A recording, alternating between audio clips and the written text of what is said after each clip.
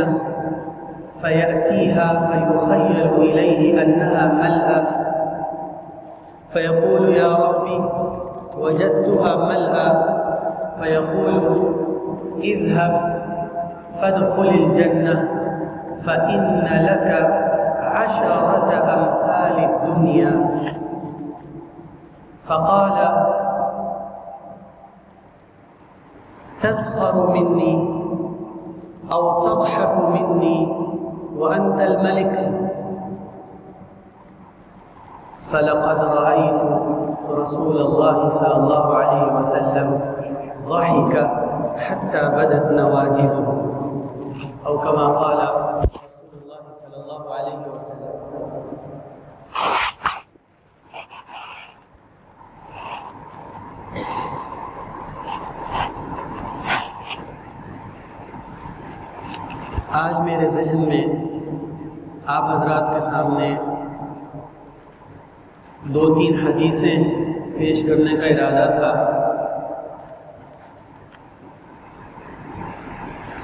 और वो ऐसे मौजू से मुतल हैं कि जिसका तस्करा हमारे यहाँ आम तौर से ख़त्म हो चुका है। हदीस की जितनी बड़ी बड़ी और अहम किताबें हैं, उसमें बड़े बड़े जो हदीस के आयमा गुज़रे हैं इमाम बुखारी हैं, इमाम मुस्लिम हैं, इमाम तिरमिज़ी हैं और बहुत सारे नाम लिए जा सकते हैं। तो उन सबने अपनी हदीस की किताबों में बाब अहल जन्ना व अहल नार के उनवान से एक चैप्टर और एक बाब का ज़िक्र किया है। और उसमें उन्होंने कौन सी हदीसें ज़िक्र की हैं? वो हदीसें ज़िक्र की हैं कि जिसमें जन्नतियों के और जहन्नमियों के हालात को ज़िक्र किया गया है। किसी भी चीज़ की तरफ़ अगर शौक़ दिलाना मकसद हो और शौक़ दिलाना मतलूब हो तो उसका ज़िक्र बार बार आपस में किया जाता है। अगर अभी हम लोग मिलकर किसी जगह तफरीह के लिए और पिकनिक के लिए जाना चाहें और किसी जगह को तफरीह के लिए और पिकनिक के लिए बुक करना चाहें, या किसी साहिल वगैरह पर, या किसी दूसरे मुल्क की खूबसूरत और हसीन जगह पे जाना चाहें तो आपको मालूम है कि हम में से जो जो लोग वहाँ पहले जा चुके होंगे, वो उसके कसीदे बयान करेंगे, उसकी तारीफ़ें करेंगे, ताकि दूसरे लोगों को भी शौक़ पैदा हो कि वहाँ तो भाई ऐसा स्विमिंग पूल बना हुआ है, वहाँ तो ऐसा गार्डन और बाग बना हुआ है, और वहाँ तो ऐसे ऐसे कमरे बने हुए हैं, और वहाँ तो खाने पीने की ऐसी ऐसी चीज़ें मिलती हैं, और वहाँ तो ये तो वो है। अच्छा वो हम क्यों ज़िक्र करेंगे? ताकि हम में से जिन लोगों को जाने का शौक़ नहीं हो रहा, उनको भी शौक़ हो जाए। उनके भी दिल में आए कि अगर इतनी अच्छी जगह है तो हमें भी जाना चाहिए, हमें भी जाके देखना चाहिए। तो इसी तरह आप सल्लल्लाहु अलैहि वसल्लम ने हमें जन्नत और जहन्नम के हालात भी बताए, बहुत तफसील से बताए। और वो इसीलिए बताए कि जन्नत के हालात जब हम सुनेंगे तो हमारे दिल के अंदर जन्नत में जाने का शौक़ पैदा होगा। और जब जन्नत में जाने का शौक़ पैदा होगा तो हम वो काम करेंगे अच्छे अच्छे अमाल करेंगे कि जिसकी वजह से हमारे लिए जन्नत में जाना आसान हो। ये हदीस मैंने अभी आपके सामने पढ़ी है। हज़रत अब्दुल्ला मसूद रबी अल्लाह की रिवायत है कि उन्होंने फरमाया कि आप सल्लल्लाहु अलैहि वसल्लम ने एक दफ़ा कहा, इन्नी लअलम आखिर मिनहा। मुझे पता है उस इंसान के बारे में कि जिसको सबसे आखिर में जहन्नम से निकाला जाएगा। यानी वो मुसलमान था। लेकिन उसने गुनाह किए, उसने बुरे काम किए। तो अपने गुनाहों की सज़ा भुगतने के लिए उसको जहन्नम में डाल दिया गया। फिर उसको जब जहन्नम से निकाला जाएगा तो वो सबसे आखिरी इंसान होगा जिसको जहन्नम से निकाला जाएगा। और फरमाया कि वह आखिर जन्नति दुखूलन, और जिसको सबसे आखिर में जन्नत में दाखिल किया जाएगा। सबसे आखिर में जहन्नम से निकाला गया और फिर सबसे आखिर में जन्नत में दाखिल किया गया। सारे जन्नत में जाने वाले लोग जन्नत में चले गए। सारे जन्नत में जाने वाले लोग जन्नत में चले गए। ये आखिरी इंसान है जिसको अल्लाह ताला जन्नत में दाखिल करेंगे।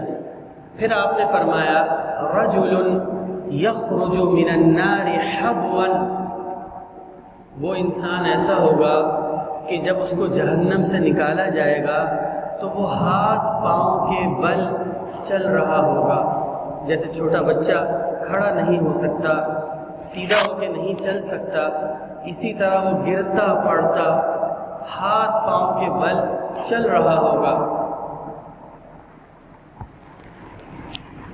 फ़यक़ूल्लाहु इज़हब फ़दखुल जन्नह। अल्लाह ताला उसको कहेंगे कि चलो, तुम जाओ और जन्नत में दाखिल हो जाओ।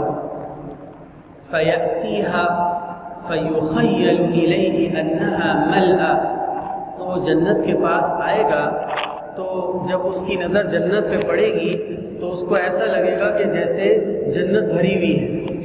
जन्नत तो भर गई। मैं तो सबसे आखिर में आया और जन्नत पूरी भर गई।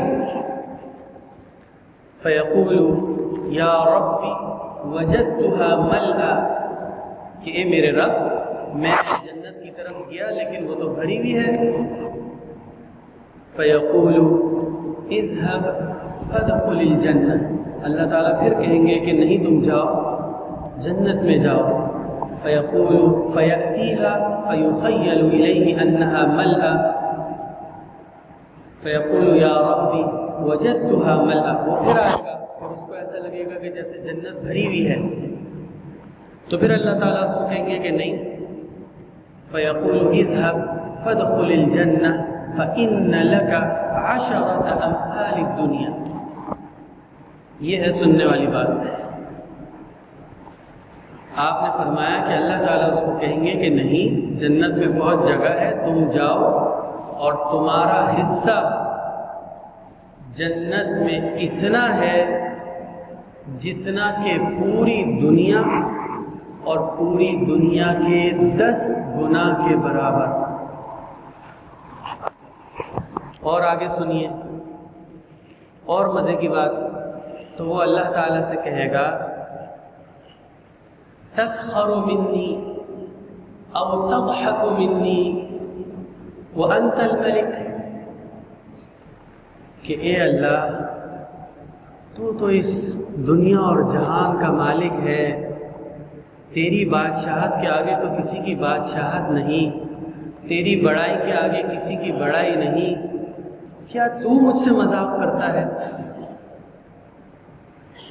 यानी दस दुनिया के बराबर एक दुनिया नहीं। अभी गूगल पे हम करके देख ले कि इस दुनिया का कुल रकबा कितना है। अभी पता चल जाएगा। मेरे जहन में नहीं रहा वरना मैं पहले चेक करके आ जाता कि इस दुनिया का, इस वक्त पूरा जो ज़मीन का रकबा है वो कितना है। तो इसके दस गुना ज़्यादा उसको दिया जाएगा कि जो सबसे आखिर में जन्नत में दाखिल इसका क्या मतलब हुआ कि जो उससे पहले जन्नत में दाखिल होंगे, उन सबको इससे भी ज़्यादा मिलेगा। और फिर उस आदमी ने हैरान होकर अल्लाह ताला से ये कहा कि ये अल्लाह ताला, क्या आप मुझसे मज़ाक कर रहे हैं? क्या आप मुझ पर हंस रहे हैं कि यानी मेरे लिए इतना ज़्यादा?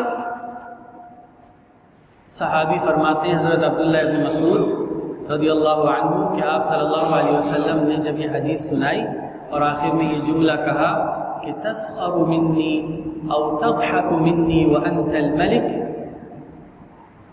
फ़ाहिका हत्ता बदत नवाजिदुहु कि आप सल्लल्लाहु अलैहि वसल्लम भी हंसे और मुस्कुराए यहाँ तक कि आपके दांत भी नज़र आए मुस्कुराहट की वजह से इससे मिलती जुलती एक और रिवायत है थोड़े से फ़र्क के साथ वो भी मैं आपको बता दूँ कि सबसे आखिर में जिस आदमी को जहन्नम से निकाला जाएगा अभी सिर्फ़ उसको जहन्नम से निकाला गया है ये जहन्नम का दरवाज़ा है जहन्नम के दरवाजे के सामने ही वो अभी बैठा है। उसको जहन्नम से निकाला गया है। तो एक तो उसका जो हशर होगा, उसका जो हाल होगा, उसके जिसम का जहन्नम के अजाब की वजह से। फिर जब वो जहन्नम के सामने बैठा है तो जहन्नम की जो तपिश है, जहन्नम की जो हरारत है, जहन्नम की आग की जो शदीद गर्मी है उससे वो इतना परेशान होगा कि अल्लाह ताला से कहेगा कि, ए अल्लाह ताला, ए मेरे रब, मैं तुझसे एक सवाल करना चाहता हूँ, एक चीज़ मांगना चाहता हूँ, और अगर तूने मेरी वो बात मान ली, तूने मेरी उस गुजारिश को और उस सवाल को सुन लिया तो मैं उसके बाद तुझसे कुछ नहीं मांगू अल्लाह ताला उससे कहेंगे कि अच्छा ऐसा ही है कि अगर मैंने तेरी इस बात को मान लिया तो वादा है कि इसके बाद तू कुछ नहीं मांगेगा। तो कहेगा कि हाँ बिल्कुल वादा है। ये मेरा पहला और आखिरी सवाल है। यहाँ तक कि वो इस पर भी तैयार हो जाएगा कि अगर उससे कोई माहदा लिखवाना है, कोई एग्रीमेंट लिखवाना है, कहीं साइन करवाना है कि ये मेरा पहला और आखिरी सवाल है, मैं इसके बाद कोई चीज़ नहीं मांगूँगा, वो इस पर भी तैयार हो जाएगा। अल्लाह ताला पूछेंगे कि अच्छा मांगो क्या मांगना है? तो कहेगा कि मेरा मुँह और मेरा रुख जहन्नम से मोड़ दे। इसलिए कि इसकी आग ने, इसकी गर्मी ने और इसकी तपिश ने मुझे हलाक कर दिया।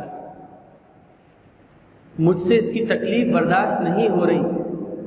तो अल्लाह ताला उसकी इस दुआ को कबूल करेंगे और उसका रुख जहन्नम से मोड़ देंगे। अब जब जहन्नम से उसका रुख मोड़ देंगे तो दूसरी तरफ़ जन्नत होगी। अब उसको दूर से जन्नत नज़र आने लगेगी। और जन्नत की जो नेमतें हैं, जन्नत की जो खुशबुएँ हैं, वो किसी न किसी दर्जे में उस तक पहुँचने लगेंगी। तो फिर अल्लाह ताला से कुछ मांगने का दिल चाहेगा, लेकिन फिर इसको याद आएगा कि मैं तो वादा कर चुका हूँ, कि मैंने तो एक ही सवाल करना था मैंने सब दस्तखत कर दिए, सब साइन कर दिए कि मुझे और कुछ मांगने की अब इजाज़त भी नहीं है और हक भी नहीं है। तो चुप हो जाएगा। फिर कुछ टाइम गुजारने के बाद फिर ख्याल आएगा तो हिम्मत करके अल्लाह ताला से कहेगा कि मैं आपसे कुछ मांगना चाहता हूँ। तो अल्लाह ताला कहेंगे कि तूने तो वादा किया था कि तू सिर्फ़ एक चीज़ मांगेगा और वो तूने मांग ली मैंने तुझे दे दी तो फिर वो अल्लाह ताला से मिन्नत करेगा, समाजत करेगा, और अल्लाह ताला से क्या मांगेगा? कि मुझे जन्नत से कुछ करीब कर दे। अल्लाह ताला फिर उससे वही कहेंगे कि अच्छा ये आखिरी सवाल है। इसके बाद तो कुछ नहीं मांगोगे? कहेगा नहीं। फिर दोबारा सब साइन होंगे, दोबारा सब दस्तखत होंगे कि अब मैं इसके बाद कुछ नहीं मांगूँगा, ये मेरा आखिरी सवाल है। कि मुझे जन्नत के कुछ करीब कर दें। तो अल्लाह ताला उसको जन्नत के करीब कर देंगे। अब जब जन्नत के बिल्कुल करीब हो जाएगा और अंदर जन्नत की नेमतों पे जन्नत की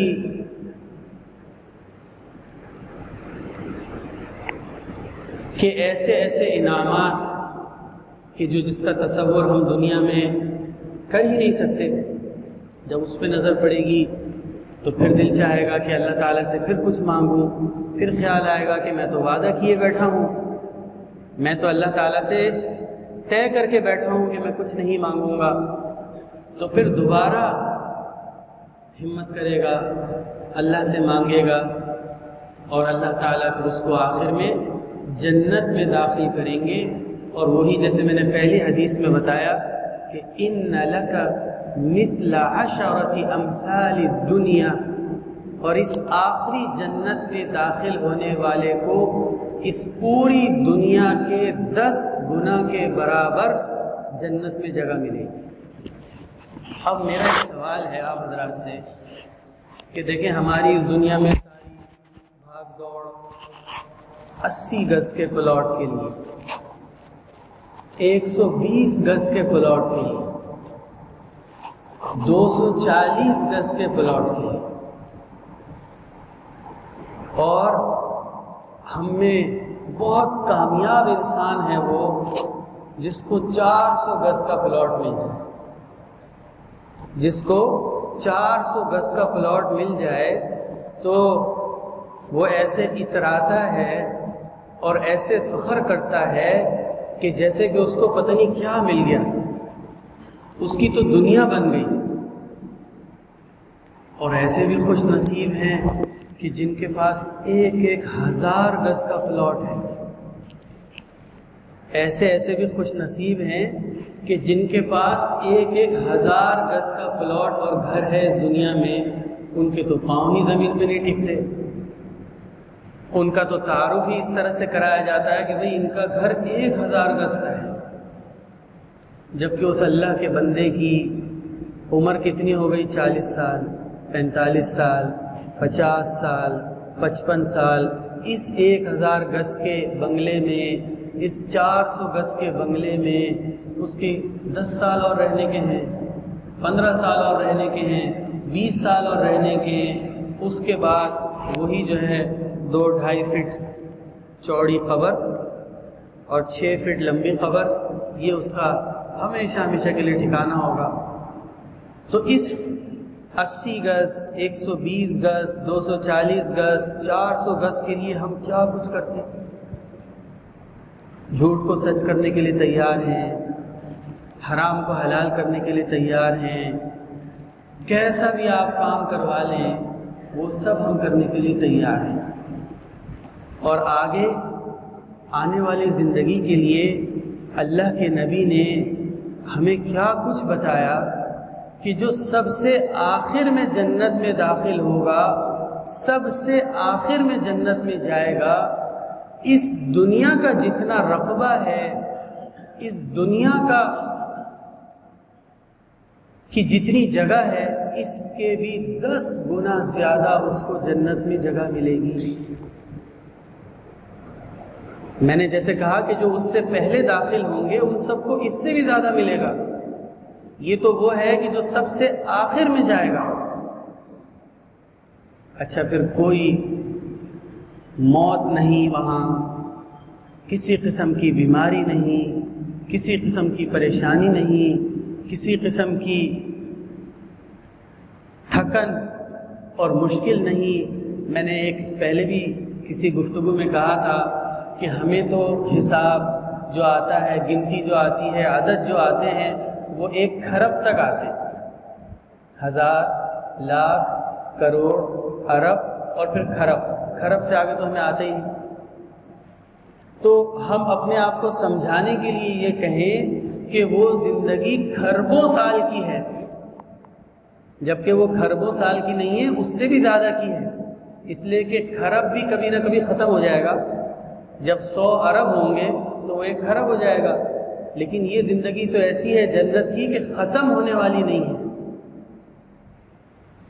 इसी तरह एक और हदीसें मैं आपको सुना दूँ, एक दो और हदीसें, हज़रत अबू सईद खुदरी रज़ी अल्लाह की रिवायत है कि आप सल्लल्लाहु अलैहि वसल्लम ने फरमाया कि अदना अहलिल जन्नति अल्लदी लहु समानून अल्फ खादिमिन।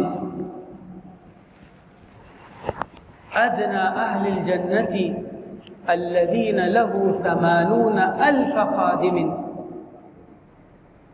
व इसनतानि व सबऊन जौजतन वतुनसब लहु कुब्बा मिन लुअलुइन व जबरजदिन व याकूत कमा बैन अलजावियति इला सनआ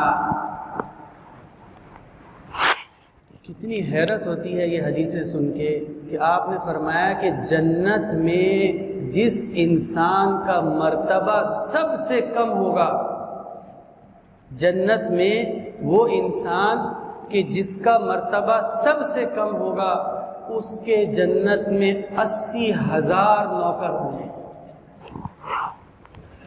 उसके जन्नत में अस्सी हज़ार खिदमत करने वाले होंगे। हमारा हाल क्या है?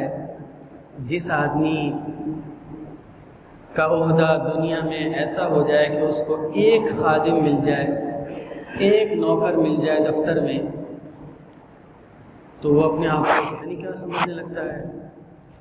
उसके नाम के साथ बॉस का लफ्ज़ लग जाता है। उसके नाम के साथ सर का लफ्ज़ लग जाता है। इसलिए कि ज़ाहिर है वो जो नौकर है, वो खादिम है वो अब उसको बॉस कहेगा, वो उसको अफसर कहेगा, ये अपने आप को क्या समझना शुरू हो जाएगा।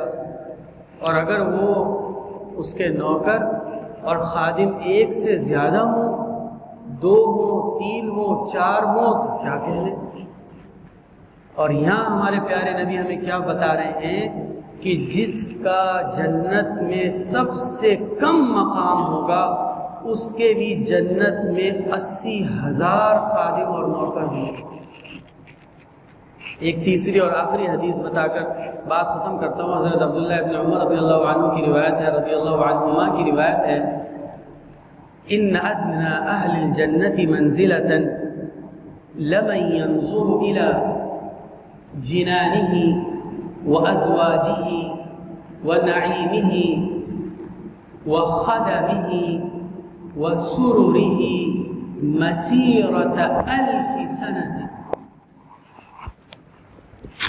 जन्नत में जिस आदमी का सबसे कम मर्तबा और मकाम होगा, उसको अल्लाह ताला जन्नत में जो नेमतें अता फरमाएँगे, ज़मीन है, बीवियाँ हैं, नौकर और ख़ादिम हैं, और तरह तरह की नेमतें हैं, वो इतनी ज़्यादा होंगी उनको उनका अहाता करना ऐसा होगा कि जैसे कि एक हज़ार साल की मुसाफत।